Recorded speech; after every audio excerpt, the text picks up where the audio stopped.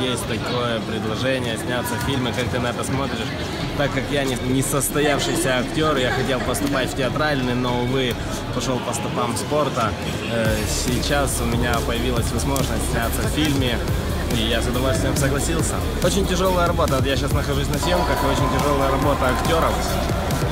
То, что они делают, да, люди уже видят готовую картину, а я вижу сейчас, когда эту картину делают.